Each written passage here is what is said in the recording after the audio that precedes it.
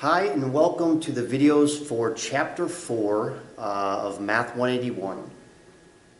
This is Section 1.1. This is the first of two videos. So the good news is you guys have done the majority of the hard work for the semester. You've learned a lot about functions, you've done the differentiations, uh, all the different rules, product rule, quotient rule, uh, differentiation of logs and the function e. So that's the majority of the hard work. Now we get to start actually applying this. Why do we do all that work? What does it mean? When are we ever going to use it, right? The famous question in math, when am I ever going to use that? Well, in chapter 4, this is the applications of differentiation.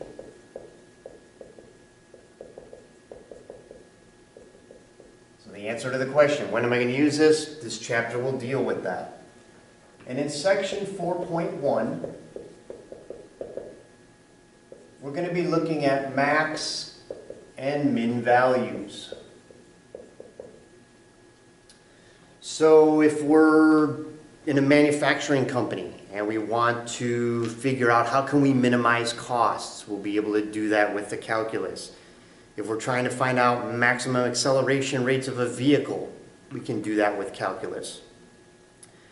Or maybe something as simple if we're like at an art gallery and you want to know what's the optim optimal distance away to best view the photo. Obviously, if you're three inches from the picture, that's not going to give you a real good view. And if you're across the room, it might not be the best view. So this idea of optimization is something as simple as how far away should I stand to, to get the best view of this picture. That again comes down to calculus.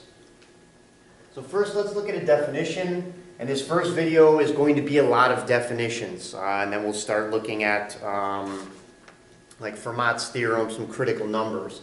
But to begin with, we're going to say let C be a number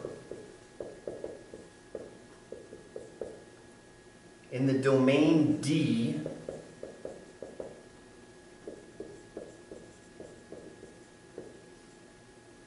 of function f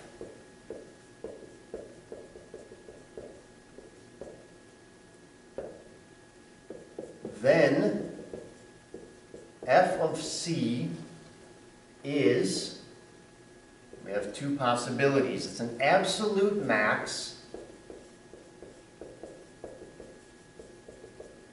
Here being absolute, because we'll look at a little diff different option for maximums, but it's an absolute maximum. When the value of f on D, so on the domain, or sorry, the absolute value of the max is the value of f on the domain. If f of c is greater than or equal to any other value f of x for all x in D. And mathematically, you might see it written like this. I don't know if your instructor will use this notation, but this is x in D, in the set of D, in our domain. So basically, if I have a function, and if I pick some value and there's no other value in that function greater than any other x value that I pick, clearly that's my absolute max. And similarly, the absolute min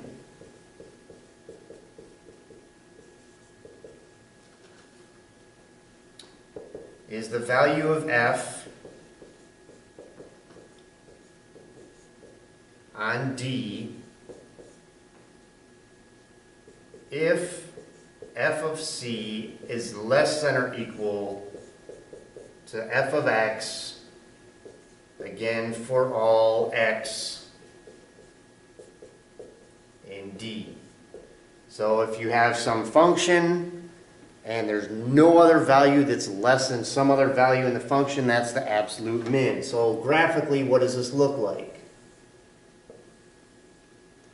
So let's say I have some function here, goes up, comes down, goes back up, comes back down, maybe this is my domain. It goes from here to here, and that's it. So the absolute max would be what? Well, the absolute max would be the highest point this function ever gets, which would be here. And the absolute min is what? Well, it's the lowest value that this function ever gets, which would be here. So that's our absolute max, absolute min. We also have another definition. So that was absolute max, absolute min. We also have what's called a local max or a local min. Local maximum, local minimum. So the number f of c is a local max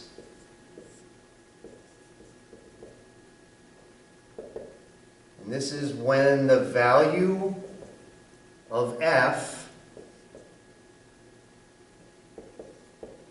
if f of c is greater than or equal to f of x when x is close to C. So now I'm not talking about the entire domain. I'm not talking about the entire function. I'm just talking about some value C. If x is real close to that, then that point f of c is bigger than any other value. And I'll show you on the graph what I'm talking about. And we have local min, or local minimum. And this is the value of f if f of c is less than or equal to f of x when x is close to c.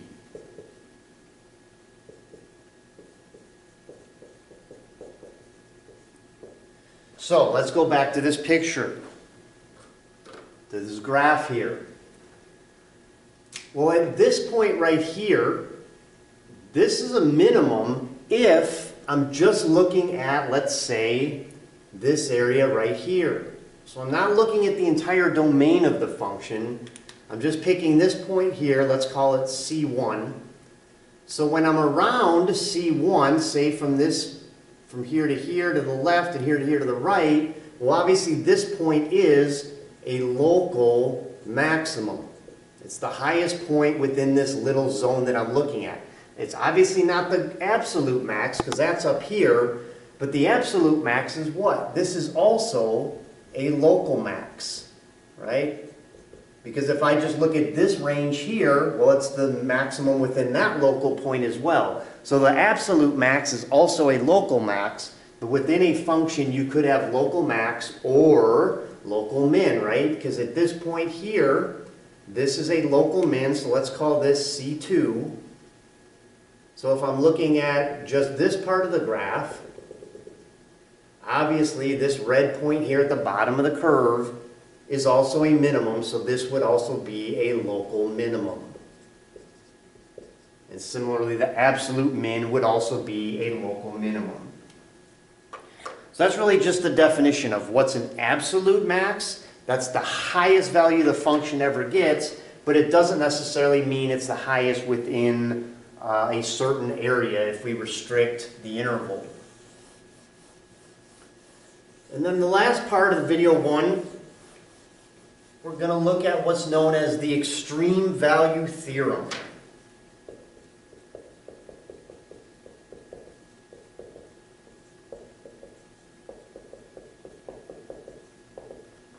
And that says the following. If f is continuous on a closed interval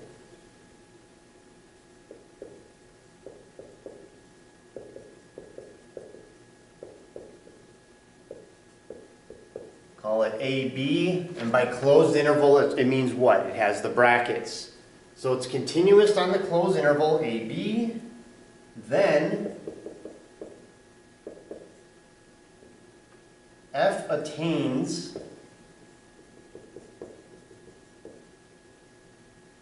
an absolute max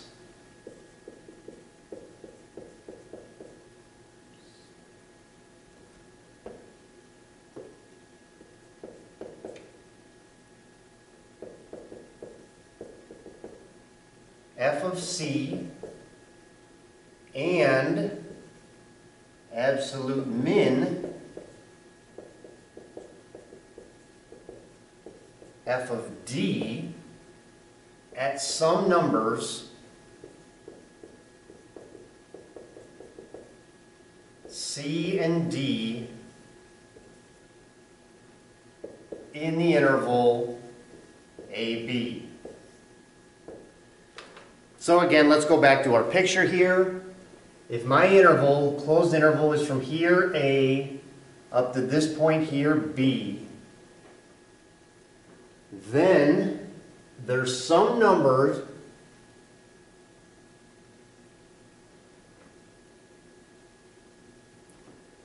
C, which is my, is my absolute max,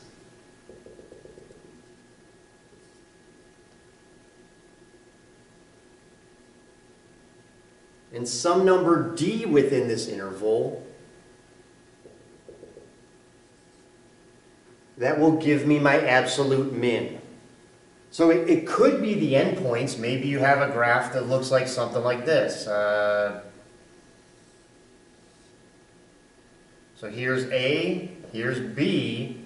Well, the absolute max, max is at A, so that would also be the value for C, and the absolute min would be at B, which would also be my value for D. So it could be one endpoint, it could be both, it could be neither, but there's going to be some value C and some value D within that closed interval, which gives me an absolute maximum and an absolute minimum value.